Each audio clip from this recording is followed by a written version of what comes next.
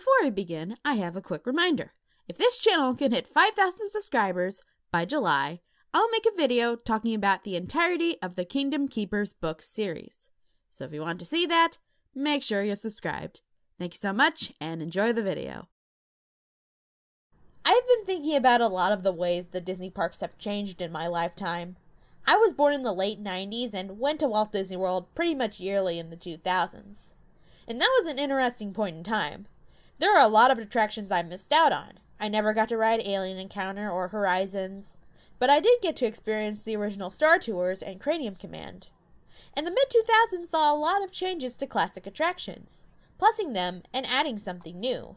The most notable of them was probably Pirates of the Caribbean. In 2006, the ride received a massive overhaul at both Disney World and Disneyland. This wasn't just adding new scenes or a few animatronics. This was a reconfiguration of the entire ride story. And I'm just gonna come out and say it, it didn't work. From a storytelling aspect and from a technical aspect, I don't think it was well executed. But what were these changes and why didn't they work? Well, let's set sail and find out together. Ever since it opened, Pirates of the Caribbean has been considered the gold standard of Disney attractions. It was the last Disney attraction that Walt personally oversaw. It had the latest in groundbreaking technology. It was a huge advancement in the kind of storytelling that the medium could do. With all that prestige and acclaim, there was kind of a feeling of sacredness around it. Despite Disney never being afraid to change an attraction, for better or for worse, Pirates was seen as too sacred to touch or alter in any ways. A couple of times they did change it, there was a big backlash. Don't fuck with the formula, it's perfect the way it is. That was the conventional wisdom for nearly 40 years. So, what happened right around 2006 that made them want to change such a classic attraction? What made them want to buck the status quo of keeping things sacred and change it in such a big way? That's got to be the best pirate I've ever seen. So it would seem. Oh, yeah, that. Pirates of the Caribbean Curse of the Black Pearl came out in 2003 and was a huge hit, well received by both critics and audiences. It was the fourth highest grossing film that year, making over $600 million against a $140 million budget. The film turned its main actors into A-listers and created characters that are still fondly remembered today. Disney took a huge risk in making this movie, and it paid off big time. Almost immediately after the film's runaway success, two sequels were greenlit. This was the beginning of a new, lucrative franchise, which Disney really hadn't had before. Though, the most remarkable aspect of it all was where it came from. It wasn't based on a book, or a TV show, or a movie. It was based on a theme park attraction. Disney had attempted theme park inspired movies in the past, but none of them really panned out until Pirates came along. Naturally, the people in charge started seeing dollar signs and realized this was the perfect place for cross promotion. If we could tie our already well known attraction to a popular movie franchise, it'd create interest in both. It's practically a license to print money. In 2006, Pirates of the Caribbean reopened with new additions from the films. Davy Jones was added to the cave scene at the beginning, the captain of the Jolly Roger was replaced by Barbossa, and of course, Captain Jack Sparrow was put in a bunch of scenes looking for treasure. The ride story went from a group of pirates looking for treasure to a group of pirates looking for Jack Sparrow so he can tell them where the treasure is. Much of the ride remained the same, all the classic scenes were there, but the story was recontextualized to be about the movie characters. Okay, so in order to break down why these changes didn't work, I think it will be easiest to go one problem at a time. These aren't in any particular order, they're just the ones I find interesting enough to talk about.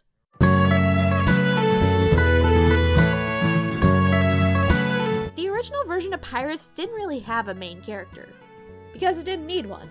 It was about a group of pirates just looking for treasure. No one figure is given a lot of attention or screen time, and not a lot was known about their histories. So, really, you could just make up whatever stories you wanted to about them. I think that's part of the appeal of something like Pirates. With no clear cut story, it gave fans a lot of freedom to come up with their own. The refurb did away with that completely and made it all about Jack. One of the main criticisms you always hear about the later films is that they're all about Jack Sparrow and that he's overused. You can think whatever you want about those critiques, but I'm not gonna say they're unfounded. You go back and watch the first movie, and a lot of it is about Elizabeth and Will. Jack's still a main character, but the story wasn't all about him. But as the movies went on, they started using him way too much. No matter how much you like a thing, there's a point where you get tired of it. Like I said, Pirates didn't really have a main character before, but with Jack in the ride, everything is all about him. The pirates are in Isla Tesoro looking for Jack. They're torturing the mayor looking for Jack. The poop pirate is bragging about having a key instead of Jack. The ride did away with the ensemble nature of its cast, pushed aside all the other characters, and turned it into the Jack Sparrow show, which in turn brings up further problems with how it recontextualized the ride's story, but I'm getting ahead of myself. And look, anytime you have a breakout character that's given much more screen time because of their popularity, it's bound to upset some fans. It might have been excusable if the added screen time was executed decently. Unfortunately for us, the ride did not do that.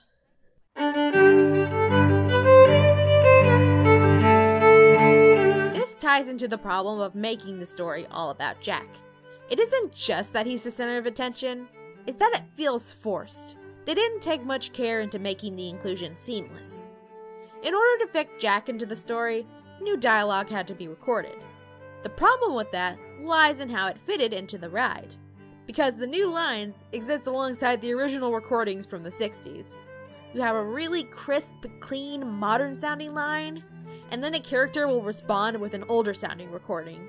Where be Captain Jack Sparrow and the treasure, you bilge rat? Do not tell him, Carlos.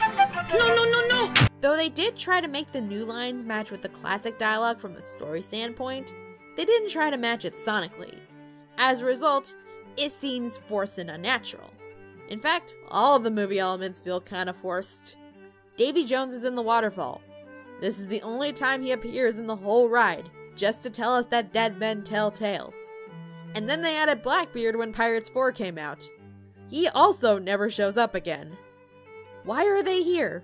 I think Disney knew this was forced because it was removed from most versions of the ride. You also see Barbossa as the ship captain. That fits alright, even though there's still problems with the sound mixing. However, he only shows up once at the beginning and then never again. If they were going to go through the trouble of including one of Jack's greatest rivals, the main antagonist of the first film, then they should have reincorporated him elsewhere. But they couldn't, because if they did, they would have to fundamentally change the ride's structure. Bottom line, the movie stuff feels shoehorned in. Which is even further exacerbated by.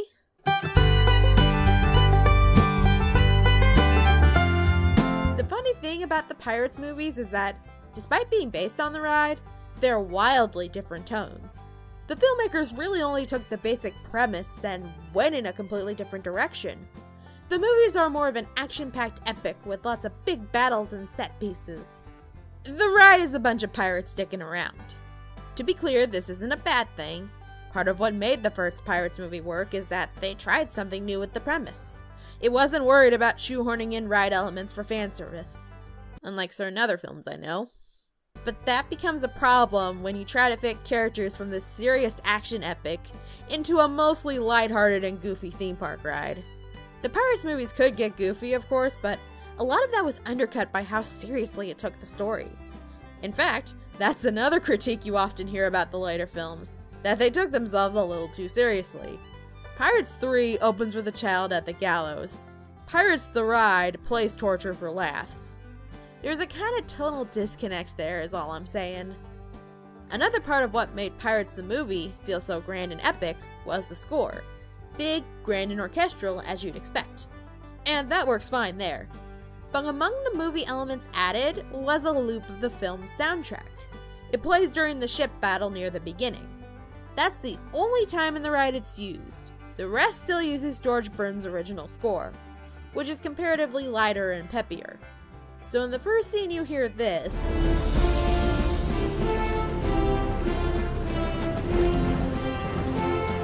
The rest of the ride you hear this. So again, it's another movie element that sticks out like a sore thumb. If they wanted to make the Pirates ride fit the epic tone of the movies, then that would have to require a lot more changes. And at that point, you might as well just make a new ride. Which, you know what? They did. Shanghai Disneyland has a ride entirely themed to the Pirates movies, and it is infinitely more cohesive. Because they weren't just building on top of an existing ride, it was allowed to be as epic in scope as the films. In short, the movie elements just feel restricted by the structure of the original ride. And overall, I think that's where all this clashing is coming from. But if you thought that's where the critiques end, oh no, my friends. There's more.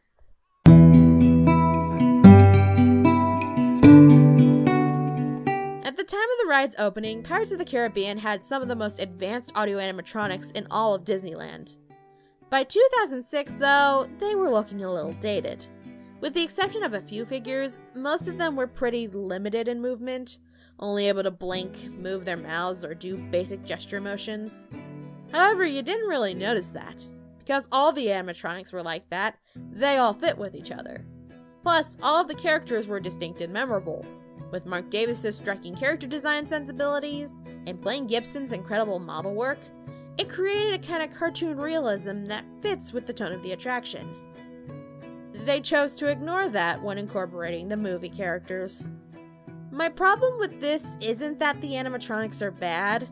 They're good animatronics. They're well made, they have great articulation and movement, and they're super lifelike. But when you integrate a realistic, lifelike character with more simplistic and cartoony characters, it's not gonna mesh. Maybe the problem with making Jack the center of attention wouldn't have been as bad if the animatronic was more stylized, designed to fit alongside the rest of the characters. But as is, he sticks out like a sore thumb. And I single out Jack because he's the most realistic out of the bunch. Barbossa is also lifelike and realistic, but he's further away and the other characters in the scene are mostly hidden, so there isn't quite as much clashing. I think the scene that best illustrates this is the one with the pooped pirate. The poop pirate is stylized. Rounded face, rounded nose, and a very curly mustache. He's actually fairly faithful to Marc Davis's original design, but out from the barrel behind him is a realistic man. Do these characters look like they belong in the same universe, let alone the same scene? How do I illustrate this better? Let's say you draw a bunch of characters independently of each other. They might look fine on their own, but when you put them together, the art styles just don't match.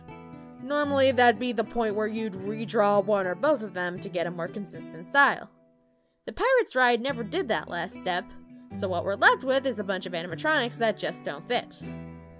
Okay, Anne, you might be saying, have you seen a refurb handle something like this well, where they introduce new elements but they actually fit? Yes, I have. And it's one from around the same time. The 2006 2007 refurb of the Haunted Mansion tried to do a lot of the same stuff that the Pirates refurb tried. It added in new characters that hadn't been seen before, and it did kind of change the ride story. And I'm mainly referring to the new attic scene. I won't deny that Constance is a retcon. I won't deny that it was a departure from what the scene was previously.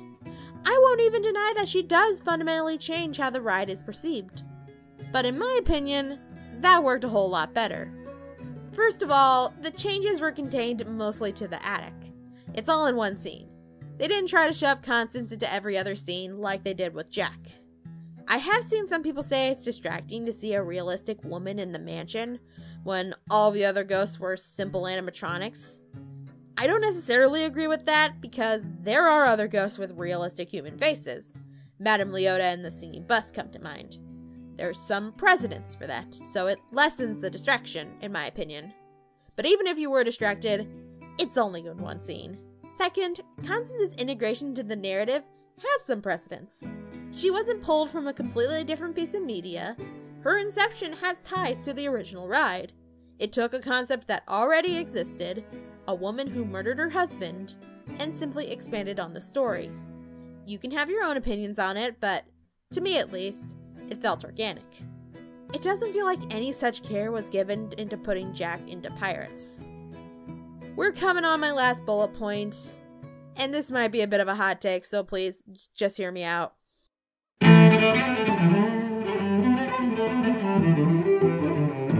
Pirates of the Caribbean was one of those rides that didn't have a clear cut story.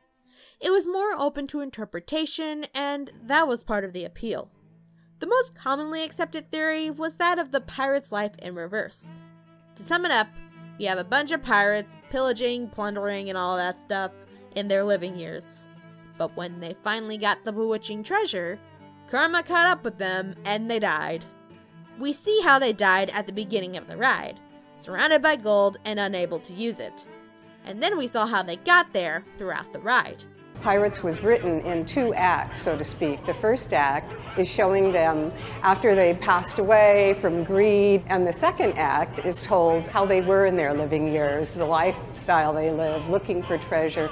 So even though we see them do terrible things to get that gold, we know that they'll eventually get what's coming to them. With the refurb, Jack's more heroic, and we're clearly meant to root for him to get the treasure. When he does get the treasure, there are no consequences for him like there were for the pirates previously. That angle is completely destroyed, and the opening scene no longer has context to it. So, how are we supposed to take all of this? When there's no kind of comeuppance or payoff, especially since that was such a big part of the original attraction? What are we supposed to make of this? It just muddles the story and themes. And nowhere is that more explicit than with the auction scene. As much as people like to complain about people being too sensitive nowadays, let me make something clear. That scene has been controversial since day one. Walt himself was unsure about whether or not the scene was an okay thing to include. He expressed concern multiple times before he decided to just trust the Imagineers. You could criticize how the ride depicted such sensitive topics, but you could argue that that was kind of the point. They're pirates, they're bad people, but they'll eventually get what's coming to them. Jack's presence as a pirate we're supposed to root for ruins that. Presumably, he was at least aware that some of this was going down. He apparently did fuck all to stop it or help the women, though. And despite that, he was still rewarded at the end. I'm not saying that the auction scene would still be around if Jack had never been introduced, but his presence makes it less justifiable. I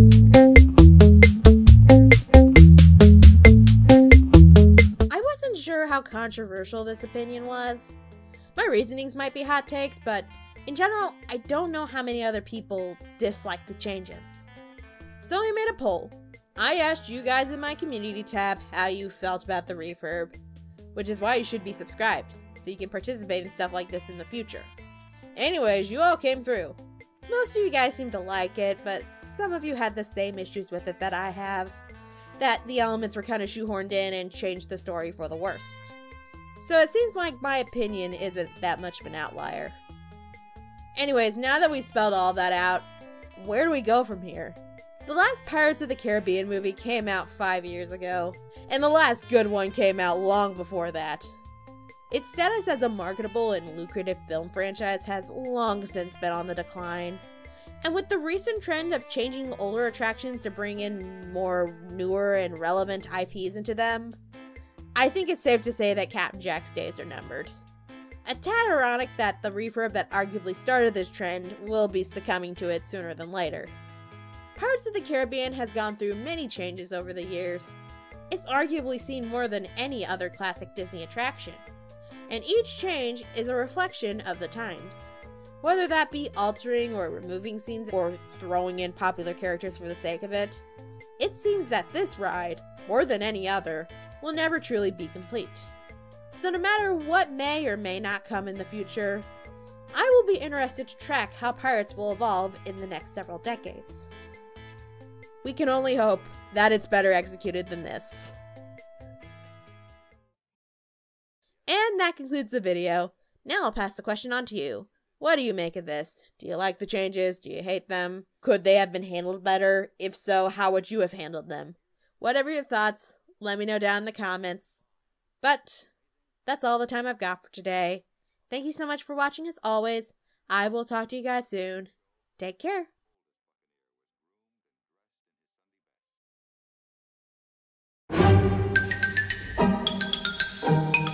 thank